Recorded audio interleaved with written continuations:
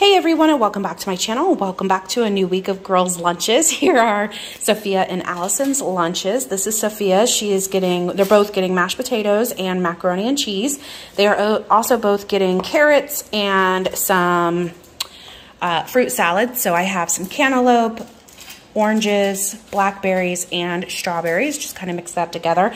And the reason why these are in a bag is because they need to heat this up in the microwave and they can't heat that up. So they can easily take it out, heat it up, and then eat it all.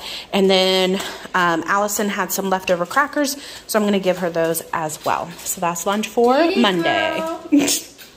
Happy Tuesday, everyone. Here are the girls' lunches for today. I have some leftovers because we need to clean out the fridge. We're going to go grocery shopping on Friday, and I just want everything cleaned out for this week. So we had some pizza the other night, so we have some pizza left over. For Sophia, I have a plate. Well, it's not a plate. It's a lid under here, so that way she could take it out and heat it up at school.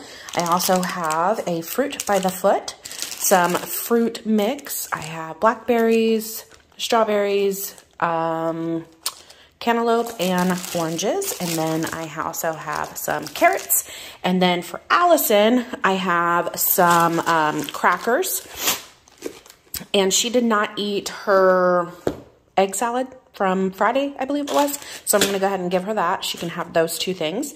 She has some um, carrots, the same fruit, the same fruit strip, and then I have pistachios here for her. She loves pistachios, and I wanted to give her a little bit extra protein. So that is the girls' lunch for Tuesday. Hey everyone, happy Wednesday. Here are the girls' lunches for today. We had some leftover hamburgers from uh, hamburger patties. No, hamburger bread buns from dinner. So here is Sophia. She's getting a ham, cheese, and mustard sandwich.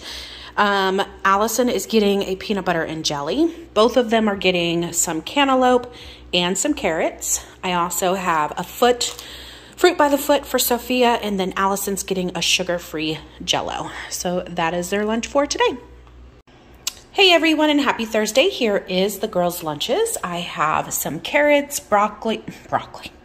I have some carrots, blackberries, and strawberries. And then Sophia is getting a ham and cheese croissant. She can heat that up if she would like to. She's also getting some of these chips. Allison's getting basically the same thing, but she is getting a peanut butter sandwich this time. So that is her lunch for today. Hey everyone and welcome back. Here is Friday's lunch. We're so excited it's Friday, right? You excited? Yes.